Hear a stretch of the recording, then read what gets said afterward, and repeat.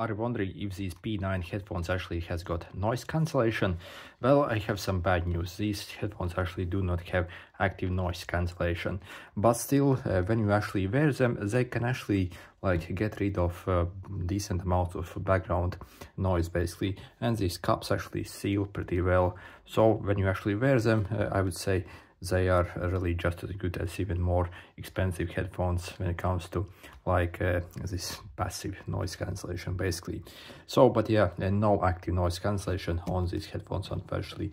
And at this price we can't really i guess even ask for that. Uh, by the way when it comes to sound quality uh, i wouldn't say they are the best headphones.